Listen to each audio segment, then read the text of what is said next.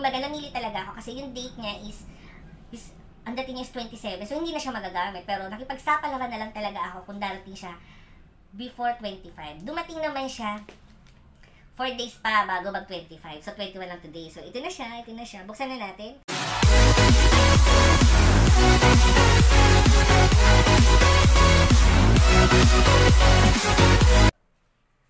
Hi sis! So welcome back to our channel for today's video mga kasis. At nandito na yung mga in-order natin sa Lazada. So ayan o, meron tayong last mall. To. Ito mga kasis, tong items na to, dapat ang dating nito is 27. So hindi na namin siya magagamit. Kumbaga nakipagsapalaran na lang talaga ako kung darating siya before 24 o 23. Pero pinalad tayo, dumating siya ngayong araw na to, oo. So, parang 4 days, dumating kagad siya sa bahay. Pero may, may allowance pa din kasi magagamit namin itong items na to this coming 25. So, ang laki pa rin. Pasalamat tayo sa seller kasi maaga niya pinadala yung itong items na to. Although minessage ko naman siya, pero dahil nga meron silang delivery date, so, napaaga po yung dating nitong parcel na to. Pinaka-importante ito sa lahat. And then, ito naman, ayan. So, ayan mga kasis, i-mark muna natin yung aking information. Ayan, nakalimutan ko i-mark kanina. So, para pagbukas ko ng mga parcel, hindi ko na po makalimutan na i-mark sila. Ayan. Ayan, parang patuyo na yung aking marker. Ayan. So, So, ayan mga kasis, buksan na muna natin itong isa. Dahil nag-iisa siyang red, dalawang blue at isang box. Iuhuli natin to kasi ito yung pinaka-importante sa lahat.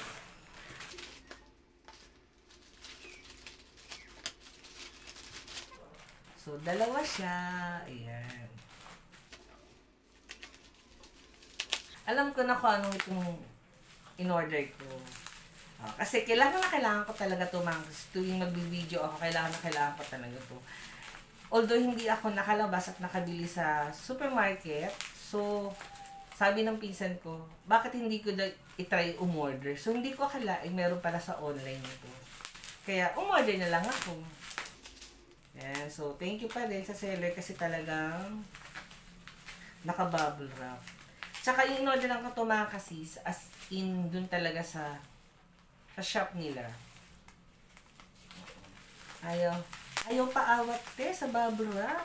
Mm-mm. Ayan. Ito na siya.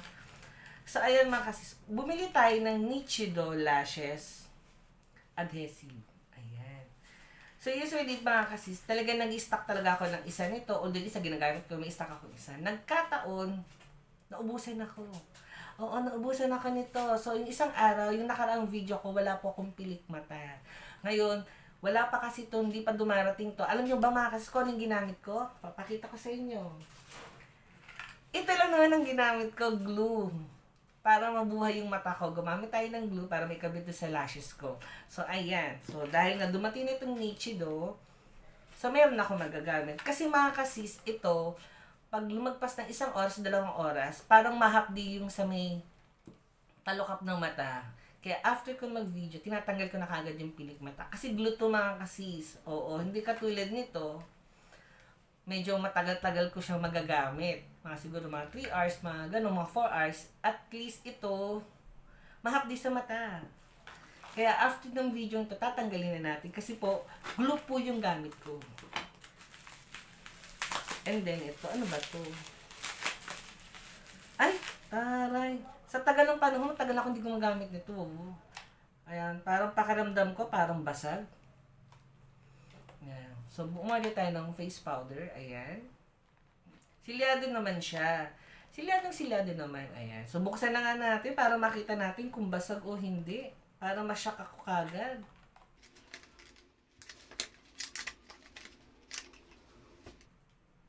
Oh, oh. Napapauwaw ako kasi mga kasis, ano lang siya, parang powder lang na nag, ano dun sa cover ng pre, uh, press powder. Pero nang binuksan ko na siya, may kasama na siyang sponge, and then yung sa loob, ay hindi na naman po, ay mutik mo. Hindi naman po basag. Ayan. So, thank you pa din sa seller kasi talagang nice nila. So, in-order ko to sa Nichido. Hortaleza. Hortaleza ko siya in-order. Ayan. Okay na ating face powder. Tingnan mo, messy lang yung kalalagyan. Kasi akala ko nabasag talaga yung ah, press powder. And then, mga kasis, ito na. Ito. Ah, ito na muna. Oo. Related din dito sa ating ah eyelash adhesive. Ay, may nakita kayo dumadaan, no? Ayan, no? Ah, hi, hi. Nag-hi. So, ito na yung ating pangalawang items. Ayan. Uy, ano yun? Ayan. Wow. So, hindi ko akalain na ganito siya kaganda. Ayan. So, hindi ko akalain ganito siya kaganda. So, first time ko umorder nito at first time ko rin gumamit nito. Ayan. Umorder tayo ng eyelashes. So, titignan natin kung effective nga. Ayan, ang ganda. Sobrang kapal, sobrang haba naman pala mga kasis. Oo. So, parang pang contest talaga siya. So, ito mga kasis, ready na siya. Idikdikit na lang sa ating, dito sa eyelid. May sarili na siyang adhesive. So, itatry ko yan pag sa susunod na video. So, ito naman yung isa. Dalawang, dalawang klase po yung in-order natin. So, ano ba itong isa? Yung Z- ZD08 at ZD09. O, di ba magkatabi lang? Oh, gets ko na. So, ito palang isa is makapal at ito namang isa is manipis. Parang bet ko itong gamitin, parang natural lang siya. Ayan, parang natural eyelashes lang. Diva. So, ito magagamit ko. So, ito kasi medyo makapal. So, ayan mga kasis. Balik na muna natin sa kanyang lalagyan.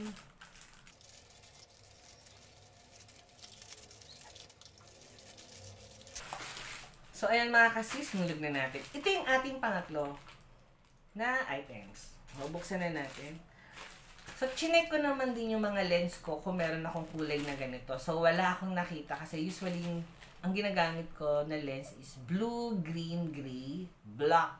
Yung brown madalang. So, kailangan ko mag-brown. Kaya napa-order na ako nito. Oo. So, dalawang klase to in-order ko. Ayan. So, ganito lang siya mga sis. Wala siyang kasamang lalagyan. O, silyado naman siya. Mm, Ay. So, umorder tayo ng for anong color ba nito? Kasi natin. Ah, kaya naman pala. Mga sis, yung kanyang case, nasa loob na rin pala ng box. Ayan. So, akala ko walang kasama. Meron naman pala. Sorry naman. So, umorder tayo ng light light brown. Ayan, kita niyo ba? Ayan. Light brown siya. So, ayan. Kasi mga kasi ang gamit ko ngayon is color dark green.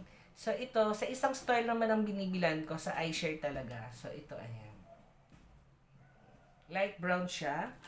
And then, yung isa, buksan na natin. Ayun. Hazel, ayun pala. Ito yung color niya, hazel. So, hindi masyadong dark, may light brown lang siya. Tapos, ito namang isa is gray. Although itong gray na to, gumagamit na talaga ako nito. So, ang pinili natin is medyo dark gray. Ayan. Dalawa po yan. Usually, bago ko gamit itong mga bago kong lens, ah, binababad ko muna siya sa bagong solution. Then, kinabukasan ko siya gagamitin. So, every time na gagamit ako ng lens o tuwing mag-shoot ako ng video, binababad ko muna yung lens. Tuwing gumagamit ako, laging linis, linis, linis. Tapos babad, then kinabukasan gagamitin ko na siya. So, ayan. So, ang ganda ng color gray.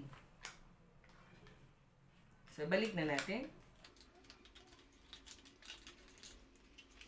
So, ito talaga yung gagamitin ko sa event. Ayan. Ayan. Miki, no? Di ko alam kung tamang pronunciation ko. Miyaki Hazel. Ayan. So, balik na natin.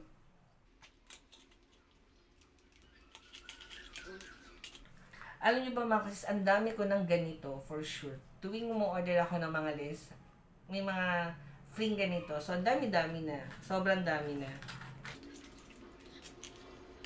So, ayan mga kasis, nandito na tayo sa pinaka-importanteng part ng ating unboxing. So, ito na yon. Although, ito naman is in-order ko siya parang madaling araw. Oo. Tapos, na-order ko siya kinabukasan. Kumbaga, namili talaga ako kasi yung date niya is, is ang dating niya is 27. So, hindi na siya magagamit. Pero, nakipagsapalaran na lang talaga ako kung darating siya before 25. Dumating naman siya 4 days pa bago mag 25. So, 21 lang today. So, ito na siya. Ito na siya. Buksan na natin. Medyo may UP lang yung box. Siyempre, dahil overseas to. So, okay naman. Kasi, minessage ko naman si seller na bago nyo ipadala yung aking mga items to make sure na okay siya. Kasi maraming kamay ang pinagdadaanan ng mga parcel natin. So, nakabox siya. I'm sure nakabubble wrap dito sa loob. Check na natin.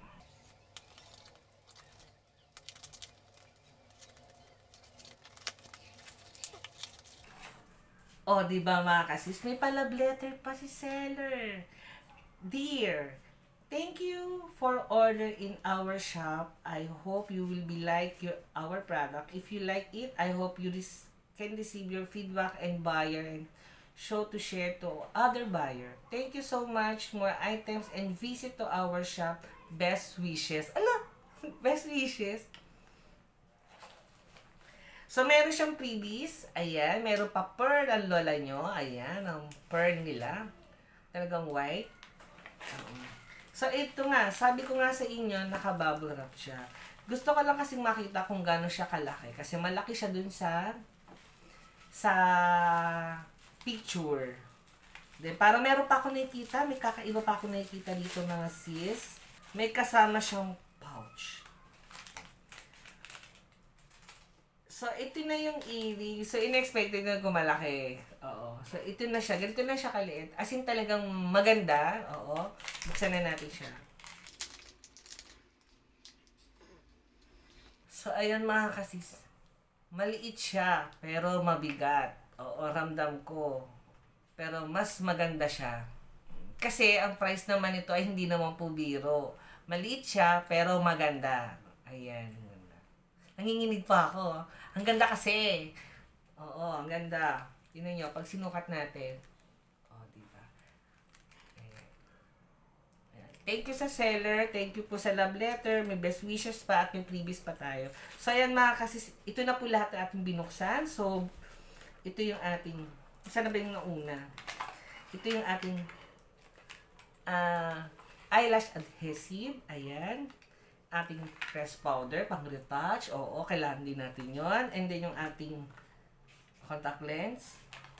Ayan. So, maganda yung packaging niya. Peach ang color. Plus yung ating eyelashes. Ayan. So, itong gagamitin ko.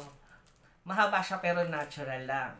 Ito naman ay pang pampadyan talaga yung lashes. Ayan. And then, mga kasis, ito na yung pinaka um, center talaga ng ating unboxing. So, itong earrings na. Ayan. So, gagamitin to ni Bride. Oo. Pricey-pricey siya, pero okay naman kasi nakita ko naman maganda naman talaga. Plus, meron pa siyang freebies and may kasama pa siyang pa-pouch. Ayan. So, ayan mga kasis, maraming maraming salamat at sinamahan niyo ako sa aking unboxing na may paganite. Ayan. So, don't forget like and subscribe.